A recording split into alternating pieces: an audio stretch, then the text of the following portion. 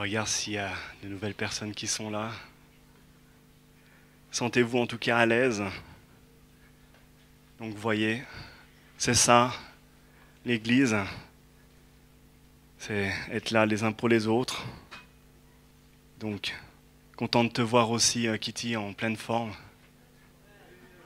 Ouais, c'est bon. Ouais, excellent. Waouh. C'est vraiment bon. On a un Dieu qui agit, les amis, et, c'est une réalité. Et je pense qu'on pourrait tous raconter en tout cas une chose que Dieu a faite dans nos cœurs et dans nos vies. Déjà notre témoignage personnel. Il y a certains qui, qui ont déclaré ça, qui, ont, qui sont passés par les eaux du baptême, comme on dit. Et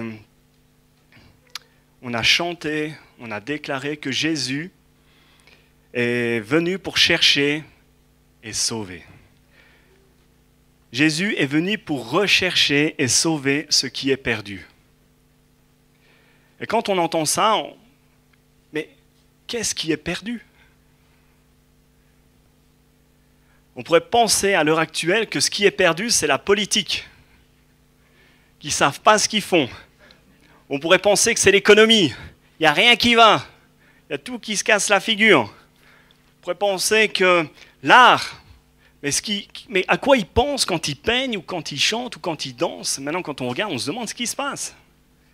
L'écologie, quand on voit l'écologie planétaire, c'est un désastre, c'est une catastrophe, les amis.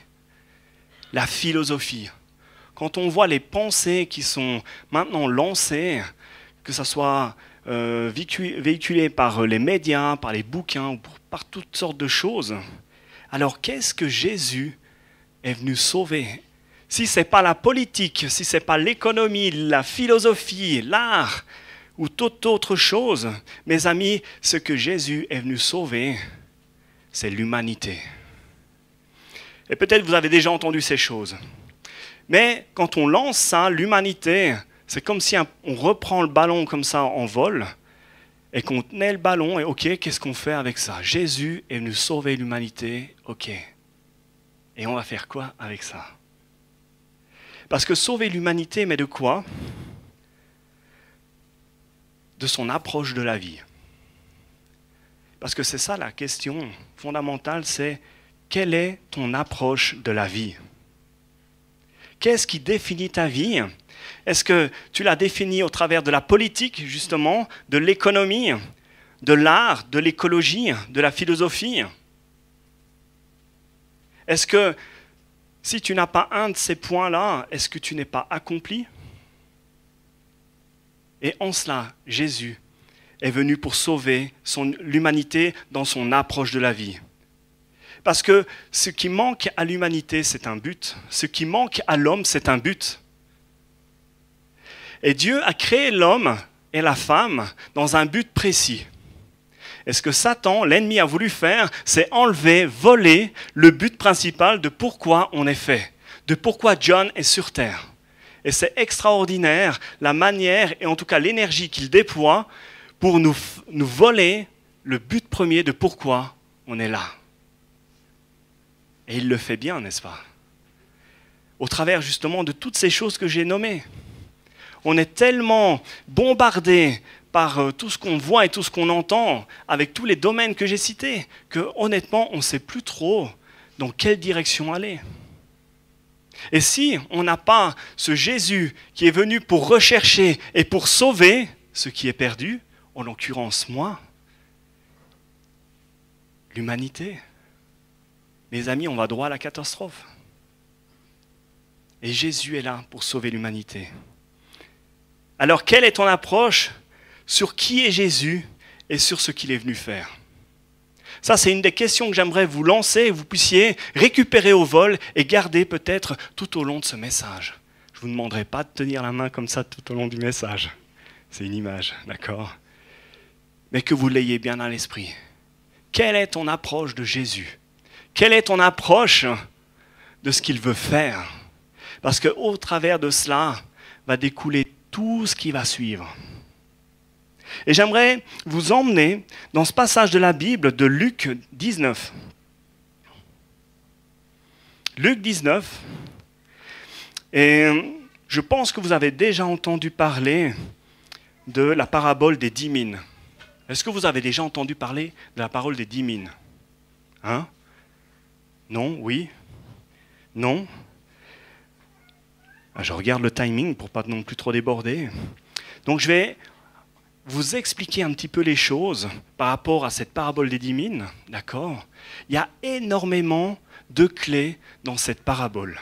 Donc dans Luc 19, à partir du verset 11, vous avez donc ce que Jésus va raconter à ses disciples. Et ce que je trouve extraordinaire, c'est que on pourrait démarrer avec cette parabole des dix mines, mais moi j'aimerais juste reprendre le verset avant, car le Fils de l'homme est venu pour chercher et sauver ce qui était perdu.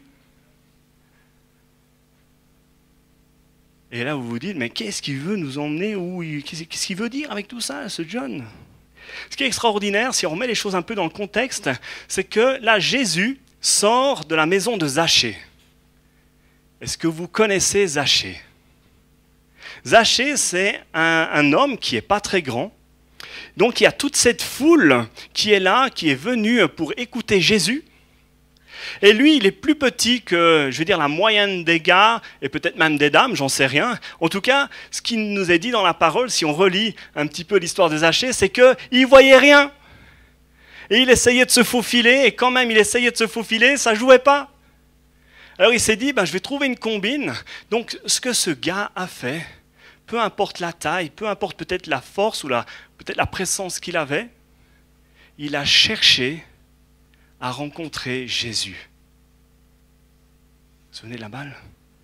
Ce qui est extraordinaire, c'est que il a voulu absolument savoir, mais qui est ce Jésus? Non seulement il voulait savoir qui était ce Jésus, il voulait le voir, mais en plus de ça, son plan, c'était de le rencontrer et de vivre quelque chose d'extraordinaire mais pas seulement pour vivre quelque chose d'extraordinaire, il voulait savoir ce que Jésus était différent des autres hommes, des autres prophètes. Donc il voulait avoir absolument ce contact avec ce Jésus.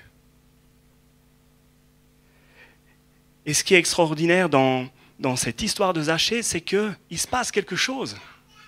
Au travers de cette détermination faite par Zachée, Jésus accepte l'invitation. Vous vous souvenez, celui qui cherche, il trouve. Celui euh, qui, frappe, eh ben, c'est ouvert. Donc, tout est prêt pour que cette rencontre puisse se faire. Et cette rencontre se fait. Et là, la chose extraordinaire, Zachée donne sa vie à Christ.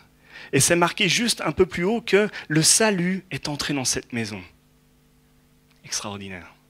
Et tout ça, mes amis, nous prépare à ce qui va suivre avec cette parabole. Parce que des fois, on pourrait segmenter un petit peu la parole en se disant que, voilà, je prends cette, portion-là, et puis euh, je peux la détacher complètement de... Alors, sachez que les choses se suivent. Il y, a, vraiment, je veux dire, une ligne historique et puis euh, des choses qui, qui, sont précises les unes après les autres. Donc c'est pour ça que c'est bien de lire les chapitres d'accord, et pas seulement des versets, que vous puissiez vous immerger vraiment dans ce qui est en train de se passer. Et ce qui est en train de se passer, c'est que Jésus fait cette chose extraordinaire, il prêche la parole, il raconte pourquoi il est là et, ce qu'il veut faire, ça touche le cœur de Zachée, et juste après, il y a cette parabole qui est donnée. Et là aussi, et là je prends un peu des libertés, excusez-moi, ça va être un petit peu théâtral, mais donc, il sort de la maison de Zachée, et puis là, donc, il est avec ses disciples. D'accord? Et j'imagine un petit peu la scène des disciples, hein, d'accord? Donc, ils se regardent les uns les autres, ils sont contents, ils sont heureux parce que Jésus vient quand même de faire quelque chose d'extraordinaire. Juste avant ça, il avait guéri donc des malades, donc il avait euh, chassé des démons. Et là, donc, il prêche l'évangile, quelqu'un se convertit. Et là, j'imagine les disciples en train de se checker les uns les autres.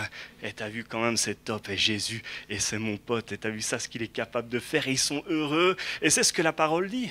Ils sont dans un tel état de joie, presque carrément déconnectés un petit peu de la réalité. Ils sont heureux de ce que Jésus est en train de faire, Donc, ils sont presque en train de se faire des, des petits coups d'épaule. Et quand même, c'est extra, quoi. Tellement ils sont heureux de ce qui s'est passé là, ils pensent que le royaume de Dieu arrive à ce moment-là. Précisément, c'est ce que la parole nous dit quand on démarre donc la parabole des mines. C'est ils écoutaient ces choses et Jésus ajouta une parabole parce qu'il était près de Jérusalem et qu'on croyait qu'à l'instant, à l'instant, le royaume de Dieu allait apparaître. Donc ils sont dans euh, cet état de joie qu'ils sont complètement déconnectés, ils sont heureux d'être ensemble, mais ils ont perdu de vue un petit peu ben, ce qui se passait. Et Jésus, je le vois en train de regarder ses disciples en disant, bon là les, copains, ils n'ont ils ont pas encore compris les, choses, donc euh, ouais, je suis content, ils sont heureux, mais j'ai besoin de leur réexpliquer un peu les choses. Et c'est pour ça qu'on a ce privilège d'avoir cette parabole des dix mines. Parce que si on replonge juste dans le chapitre avant, donc là, donc je vous ai lu qu'ils écoutaient ces choses et Jésus ajouta une parabole parce qu'ils étaient près de Jérusalem. Et là, il y a une clé. Ils étaient près de Jérusalem. Si vous vous souvenez de ce qui se passe juste dans le chapitre d'avant, 18, euh, chapitre 18, je pense c'est 31, Jésus leur annonce que dès le moment où il va entrer à Jérusalem, les choses vont se succéder. C'est comme un engrenage. Dès le moment où Jésus va mettre les pieds à Jérusalem, il va à sa mort certaine. Il leur annonce ça, il leur dit que ce que les prophètes ont annoncé vont arriver, et eux, ils sont tout contents. Ils sont dans la joie, ils sont à proximité de Jérusalem, et effectivement, il y a eu des miracles, il y a eu des guérisons, et c'est une réalité, parce que Jésus dit qu'il est venu pour ça. Et à côté de ça, Jésus est à la porte de Jérusalem. Il est à la porte de Jérusalem, les amis, et il va à sa mort certaine. Et il, veut recadrer un petit peu les choses en disant, hé les gars, il y a quelque chose que vous devez saisir absolument c'est que je suis la grâce. Je suis là pour le salut. Je suis là pour que toute personne puisse accéder à la vie éternelle. Mais il leur rappelle une chose fondamentale parce qu'ils sont en train de faire la joie, parce qu'il y a de la joie pour quelqu'un qui se repent et qui donne sa vie à Christ. Il y a de la joie, il y a une fête qui se fait au ciel avec les anges. C'est une réalité. Mais Jésus est en train de recadrer les choses et on va lire un petit peu la suite. C'est que là, il leur dit, il n'est pas seulement une question de grâce, il est question aussi de ma justice. Et souvent, donc, on manque d'équilibre entre cette grâce et cette justice, entre cet amour et cette vérité. Je ne sais pas si vous avez déjà eu une réflexion par rapport à ça, mais des fois on est tout l'un ou tout l'autre. Soit on est tout amour et tout va bien, et on veut tout donner, on veut tout faire. Et puis tantôt on est tout justice. Et c'est pas normal. Et on devrait faire ceci. Et comment c'est possible que? Et, et ça, ça fait partie de la réalité de l'être humain. Mais Jésus est cet équilibre parfait entre cette grâce et cette justice, entre cet amour et cette vérité. Et ça, c'est important, que nous puissions puiser dans cet équilibre de Jésus-Christ sans quoi on se perd facilement. Et ce qui est extraordinaire, c'est que Jésus, dans son amour, donc la grâce, il va s'approcher d'eux et il va leur raconter une parabole. Il va leur raconter une histoire pour un petit peu les captiver et les ramener un petit peu de, de l'état dans lequel ils sont. Et donc on a la parabole des dix mines où Jésus va mettre premièrement l'accent sur lui. Jésus va d'abord focaliser donc l'histoire sur lui et après il va dégager les éléments essentiels en disant voilà, moi je dois partir, j'ai besoin de quitter cet endroit pour être établi dans ma royauté. Alors qu'il leur avait déjà annoncé le chapitre avant, ils avaient complètement zappé l'histoire. D'ailleurs, le passage nous dit qu'ils n'avaient même pas compris en fait. Ils avaient entendu ces choses, mais c'était important qu'ils le saisissent. Et aussi, vu que Jésus est à la porte de Jérusalem, il sait aussi qu'à partir de là, tout ce qui va suivre va être une succession d'événements qui va directement l'amener à la croix. Donc c'est vraiment une des dernières paraboles dans lesquelles Jésus va être complètement euh, explicatif, si je puis dire ainsi. Donc il focalise la parabole d'abord sur lui et après il va ramener les choses à ses serviteurs. Les serviteurs, c'est tous ceux qui se déclarent enfants de Dieu, tous ceux qui se déclarent comme disciples. Donc, Jésus met l'accent sur lui en disant, un homme de haute naissance s'en alla dans un pays lointain pour se faire investir de l'autorité royale et revenir ensuite. Donc ce qu'on vient d'expliquer. Il appela dix serviteurs. Comme si là maintenant Jésus choisissait dix d'entre nous et puis il leur donne à chacun une pièce, ce qu'ils appellent une, euh, une mine. Une mine d'or ou une mine explosive, mais c'est comme si c'était une petite pièce d'argent. Donc ça n'a pas une très grande valeur, hein, si on regarde bien.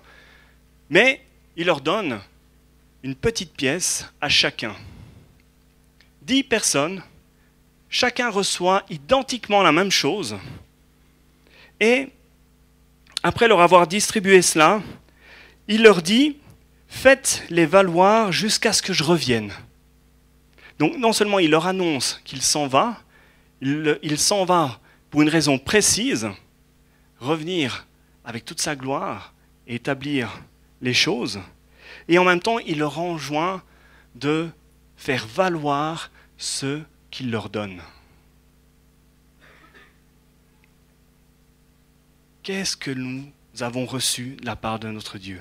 Qu'est-ce qu'on a reçu de la part de Jésus et qu'on va pouvoir bien faire valoir?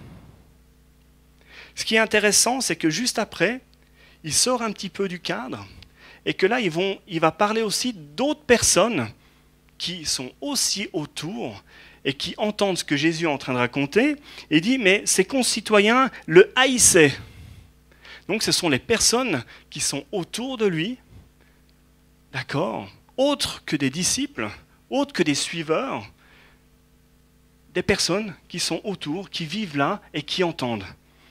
Et ils disent, ils disent, ils envoyèrent une ambassade après lui, c'est-à-dire vers là où Jésus allait donc euh, pour être couronné, donc c'est une image, pour dire mais nous on veut pas qu'il euh, revienne avec toute sa gloire. On ne veut pas qu'il revienne pour régner sur nous et sur nos, nos vies. On ne veut pas de cette personne comme euh, autorité sur nous.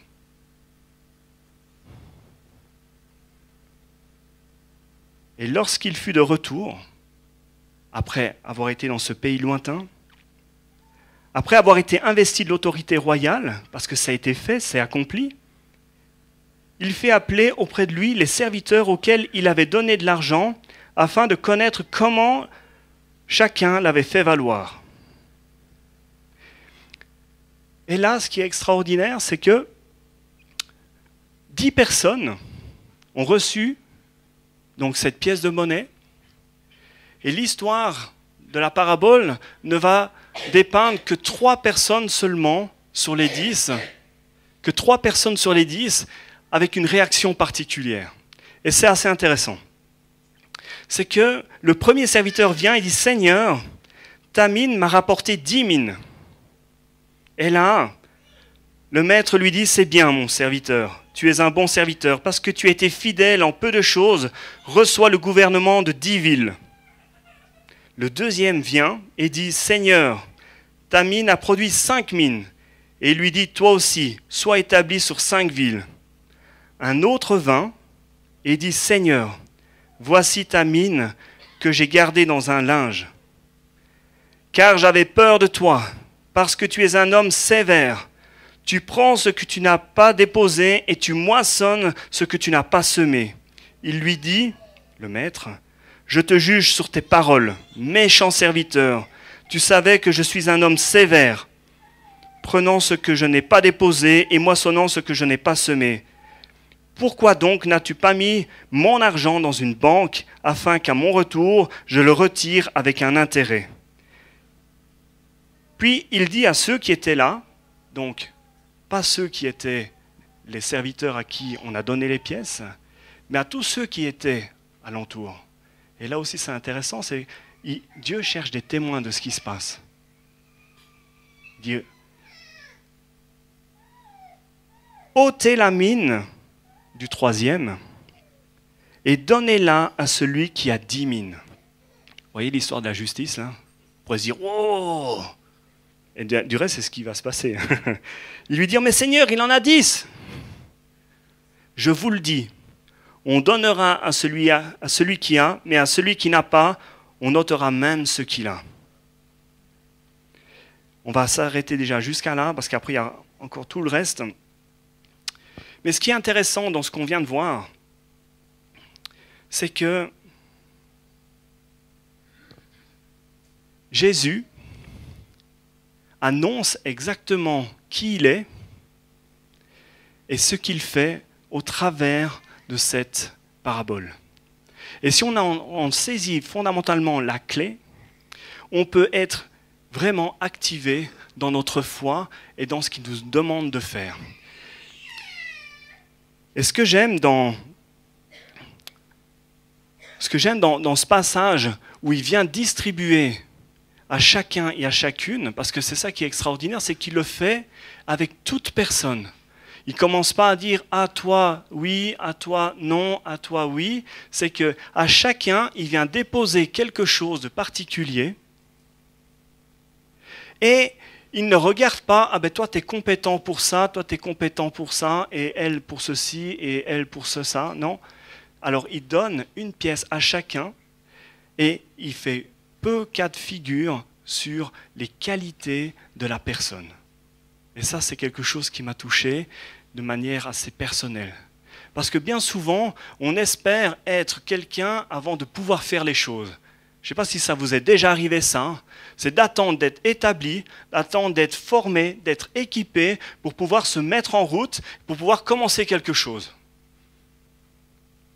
Ça vous arrive jamais ça De dire ben il faut que j'étudie, il faut que euh, je sois en pleine santé, par exemple, euh, Bérénice, elle pourrait attendre d'être en pleine santé pour se dire non, il faut que je sois complètement rétabli pour pouvoir chanter. Non. Et j'honore ça. Elle était là, elle a chanté, et c'est un bel exemple de, de justement, on ne doit pas attendre d'être complètement accompli pour pouvoir se mettre en marche. Et c'est ce que Jésus attendait de ses serviteurs au travers de ce qu'il a donné. Donc il donne et il attend à ce que tout ce qu'il nous donne, en l'occurrence là c'était juste une chose qui n'avait pas grande valeur, mais ce qu'il attendait c'est que ça puisse, ça puisse gagner en valeur. Donc j'ignore ce que Dieu a mis entre tes mains, ce qu'il a posé entre tes mains. Mais si tu penses que ça n'a aucune valeur, c'est là où il y a danger. Comme ce troisième serviteur. Et il y a différents aspects qu'on va voir avec ce serviteur qui n'a pas fait fructifier ce que Dieu a mis entre ses mains. Mais ce qui est extraordinaire, c'est que Dieu pose dans tes mains quelque chose, et dès le moment où tu te mets en action, dès le moment où tu, te mets en, mouvance, il y a quelque chose d'extraordinaire qui produit, qui produit, qui produit, qui produit et qui génère. Et on voit que les deux qui se sont mis en action ont récolté à la mesure de, de qui ils sont, je pense. Parce que quelque part, donc, ce que Dieu va poser dans vos vies, il y a aussi cette dimension de foi qui va avoir un effet déterminant. À un moment donné, ce que Dieu va poser dans vos mains, donc si vous avez la foi agissante au travers de ce qu'il pose en vous, donc ça va avoir un effet multiplicateur. La personne qui a reçu un talent, euh, pardon, c'est pas des talents, c'est des mines, a récolté dix mines, parce qu'il avait déjà dans son cœur cette possibilité de la faire augmenter à 10. Pareil pour celui qui était à 5. Et c'est pour ça que, avec nos jeunes, quand on leur prêche, de, de prier et puis d'oser de voir grand, c'est parce qu'il y a aussi cette dimension où Dieu vient déposer en toi cette foi capable de dépasser même ce que tu penses humainement. Et c'est ça qui est extraordinaire. Et c'est ce qui se passe avec ces deux premiers serviteurs, c'est que Dieu pose et agit avec eux. Donc c'est une foi qui est agissante parce que la foi vient de Dieu et ce qu'il pose en eux, donc ils le mettent en action et il y a vraiment une récolte qui se fait. Et ce troisième serviteur, ce qui est étonnant avec celui-ci, c'est qu'il a déjà une idée de qui est Dieu. Vous vous souvenez de la balle? Qui est Jésus? Quelle est ton approche de Jésus?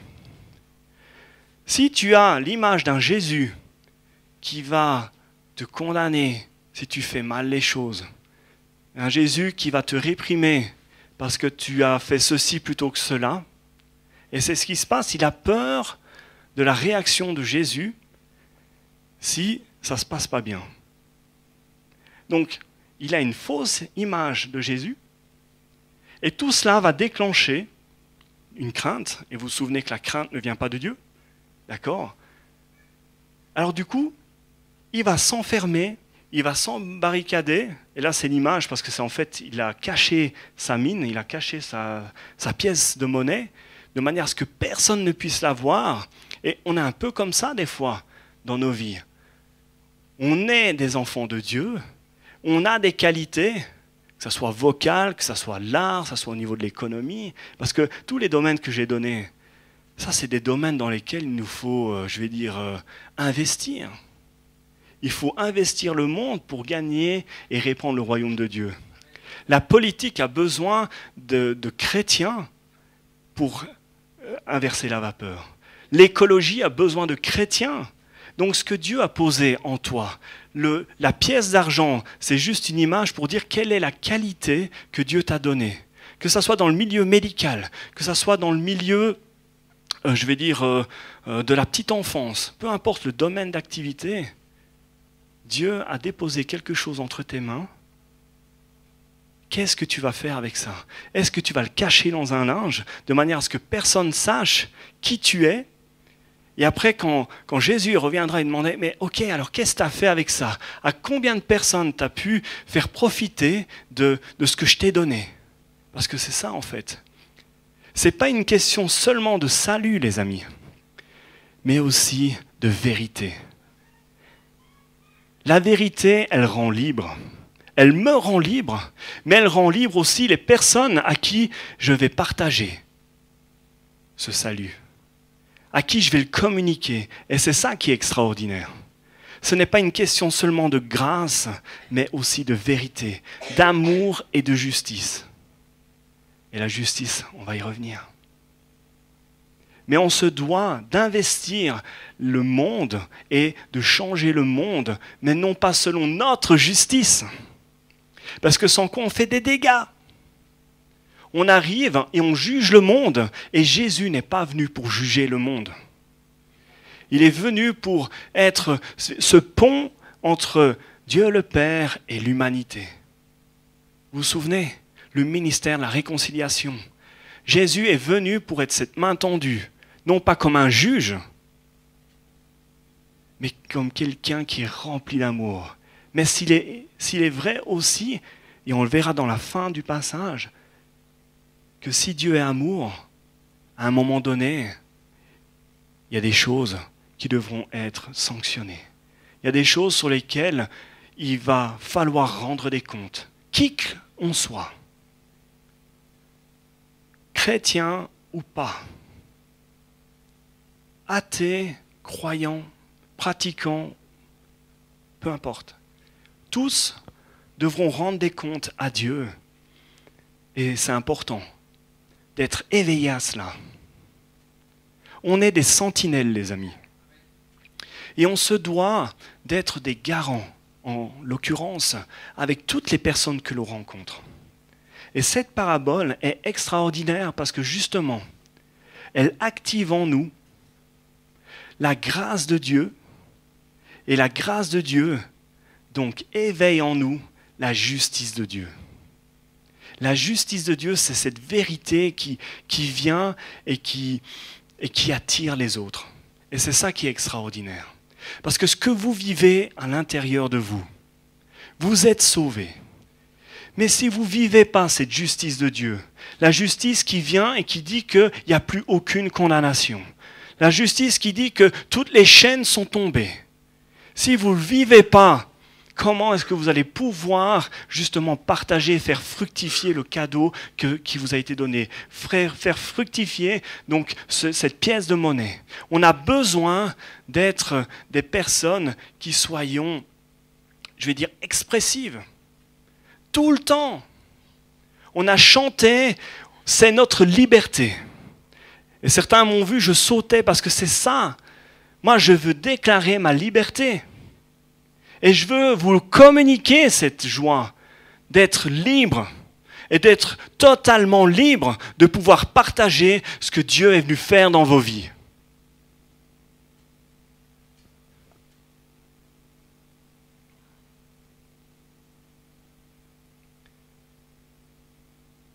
La justice appartient à Dieu, mes amis. Et vous faites bien de dire Amen. Les enfants les jeunes, suivant jusqu'à l'âge où ils sont, ils sont épris de justice. Si vous donnez un bonbon à l'un et pas à l'autre, tout de suite il va remarquer la chose. Si vous faites des compliments à plus l'un qu'à l'autre, tout de suite il va dire Ouais, mais toi tu m'aimes pas, tu m'as pas dit je t'aime. Enfin voilà. On est tous empreints de justice. Mais dans la vie, les adultes, c'est aussi comme ça. Et t'as vu le chef, franchement, il lui a encore donné congé. Et puis euh, moi, franchement, ça fait trois mois que je galère pour juste avoir euh, deux heures le vendredi. On est tous dans cette recherche de justice où, où tout est nickel et, chacun reçoit. Euh. Et puis là, dans cette parabole, on voit que Jésus, il donne encore un de plus à celui qui avait déjà dix. Et ce qu'on oublie quand même, c'est que celui qui a dix, il a quand même bossé pour avoir dix. On pourrait dire, ouais, la justice quand même. Mais c'est quand même interpellant de voir que Dieu donne un de plus à celui qui a dix.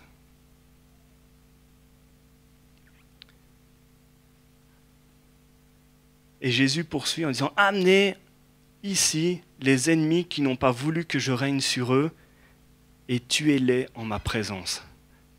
Waouh! On parlait d'amour, d'amour et de vérité, de grâce et de justice. Et puis là, Jésus, il est cache. Hein. Moi, j'aime où il n'y a pas de compromis. Il n'y a pas de compromis. Donc, ce que Jésus est en train de dire, les amis, donc, ceux qui, on a chanté, tout ce qui s'élève contre le nom de Jésus, les hauteurs, il faut qu'elles s'abaissent. Il y a des gens qui ont besoin d'être élevés dans ce monde. Ils ont besoin d'avoir un statut, ils ont besoin d'être reconnus. Et tout ce qui vient mettre en péril, je vais dire, leur statut, leur confort, leur bien-être, bien souvent, ils vont se démener pour que l'autre ne puisse pas, ou, je vais dire, entacher ça, ou en tout cas, ne puisse pas atteindre aussi ce qu'il a, parce qu'il va le vivre comme une agression, comme un, risque potentiel à son confort. Et quelque part, quand Jésus dit qu'il part pour que sa royauté ne soit plus contestée et qu'il soit établi en, tant que roi, toutes ces personnes-là, elles se sont dit, oulala, ça veut dire que euh, ben, toutes mes habitudes, devoir être abandonnés. Que tout, tout ce qui correspond à moi, qui je suis en tant que personne, tout ce que j'ai pu travailler, je vais devoir le mettre de côté. Et il s'empresse de fomenter des complots de manière à ce que Jésus, c'est une image hein, bien sûr, à ce que Jésus n'atteigne pas la croix. Et on voit tout ce qui se passe dans le jardin de Gethsemane tout ce qui va suivre dès le moment où il va rentrer, donc tout cela nous prépare nous prépare à ce que Satan veut mettre en place pour que, Jésus se détourne à travers euh, des choix de même ses disciples. il doit veiller en permanence, il doit prier en permanence. Il y a même ce dialogue où Jésus, donc vous imaginez Jésus qui demande au Père, Seigneur, s'il y a un autre moyen, alors qu'il sait qu'il n'y en a pas, vous imaginez? Jésus qui parle au Père, il sait, c'est le premier à dire, moi je suis volontaire pour aller sur la croix. Mais il sait aussi le prix incroyable. Parce que ce n'est pas une question de, de, de, mourir son corps, mais il savait ce que ça impliquait, les amis. Pour Jésus, être séparé de la présence de Dieu. Parce qu'au moment où il porte les péchés du monde, les amis, il y a eu comme une déchirure qui s'est faite. Imaginez, c'est une déchirure. Je sais pas, quand, vous êtes parent et que vos enfants quittent pour aller à un camp, ou, euh, donc il y a le manque qui est là. Donc, moi je ne suis pas encore parent, mais imaginez quoi. Vous êtes séparé de la personne avec qui vous êtes fusionnel avec qui vous, vous êtes tout le temps en relation, parce que Jésus priait sans cesse. Il n'était jamais sans, sans, le Père, il n'était jamais sans lui demander comment ça, ça, ça jouait, ils étaient fusionnels. Et puis il savait que l'enjeu était cette proximité. Et il va jusqu'au bout. Il va jusqu'au bout. Et Satan va mettre le paquet pour mettre la confusion, pour jeter le trouble, pour le tenter.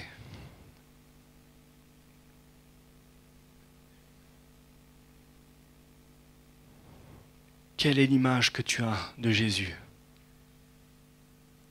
Jésus répond au troisième serviteur, tu m'as vu comme ça, eh bien qu'il soit fait comment tu m'as vu. Ce sont les paroles du serviteur qui l'ont condamné. Ça, c'est aussi interpellant. Ce qui sort de nos bouches est important. Ne pas parler à tort et à travers et surtout pas dire des choses que Dieu ne dit pas. Il a pensé à la place de Dieu. J'ai pensé que tu étais ceci et que tu allais faire cela. Alors j'ai fait ça. Jésus dit, mais tu as pensé ça, tu m'as vu comme ça, ok, et il est passé à côté de tout ce qui était en prévision pour lui.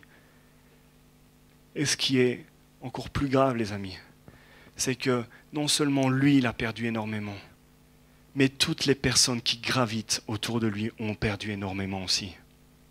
Vous êtes une personne importante. Vous êtes choisi.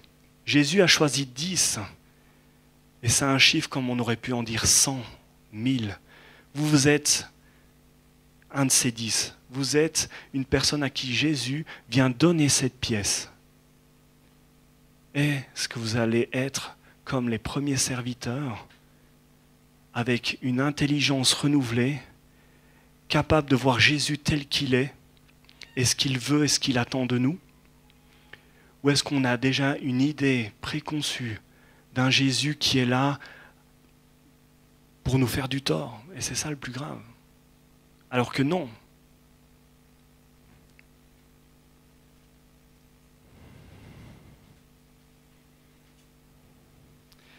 Alors que on arrive gentiment dans la dernière ligne droite de cette année 2016, j'aimerais, en guise de conclusion, c'est vous demander de faire un, un bilan personnel, que vous puissiez faire ce cœur à cœur avec Dieu, en toute simplicité, et que, au travers de ce que Dieu est venu déposer en vous, est venu vous donner personnellement, que vous puissiez faire ce rapide bilan et vous dire, OK, juste pour cette année, on ne va pas faire le bilan des, je ne sais pas quel âge vous avez, moi j'en ai 40, mais juste sur 2016, vous faites le bilan en disant, Seigneur, OK, ce que tu as posé en moi, ce que tu m'as donné de faire, qu'est-ce que ça a rapporté?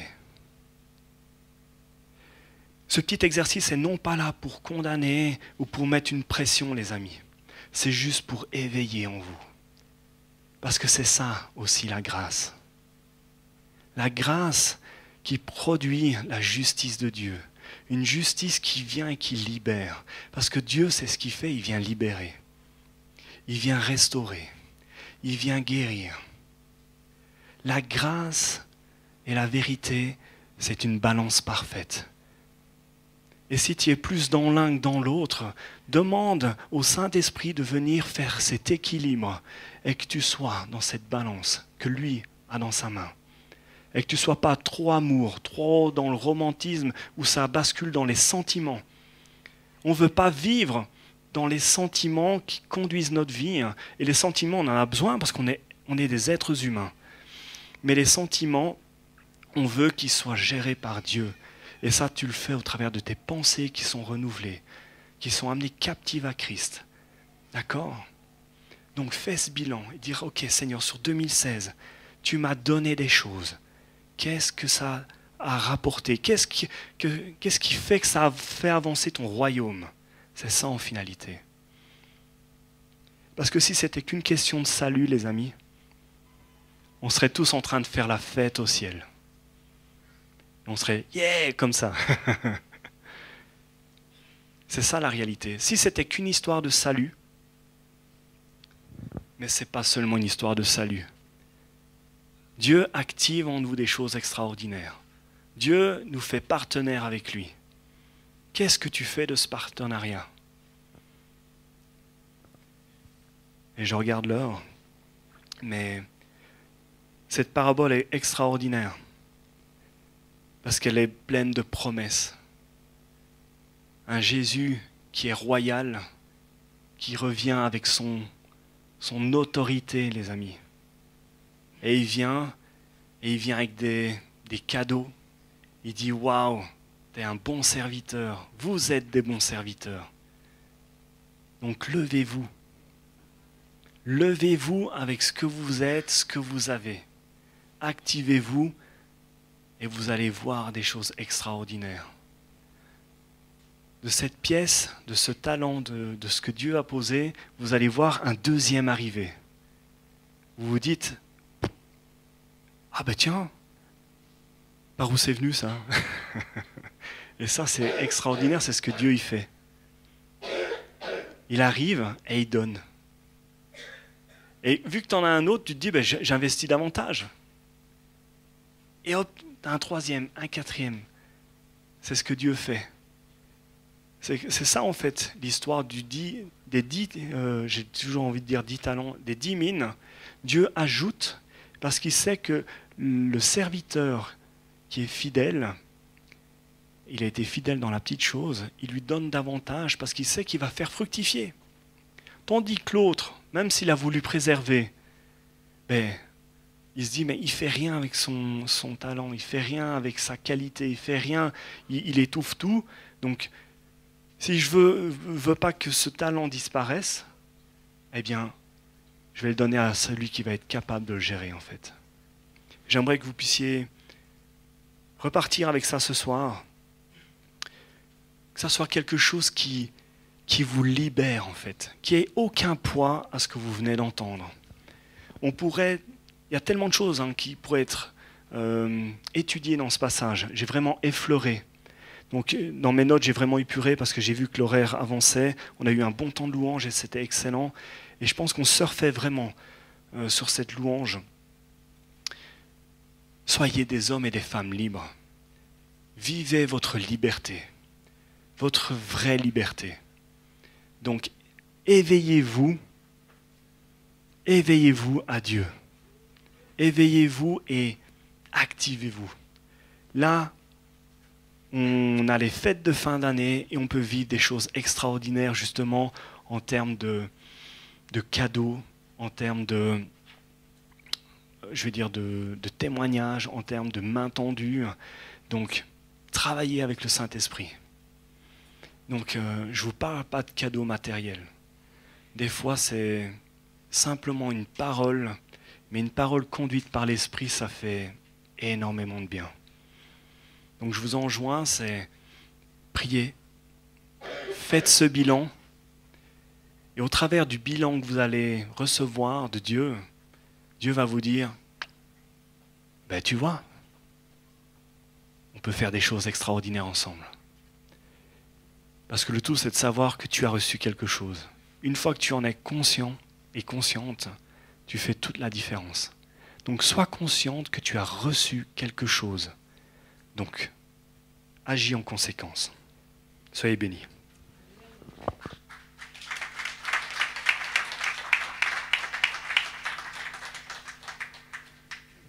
Merci Jonathan. C'est intéressant parce que quand on lit une parabole comme ça simplement dans la Bible, euh, on ne la voit pas à première vue comme tu l'as expliqué.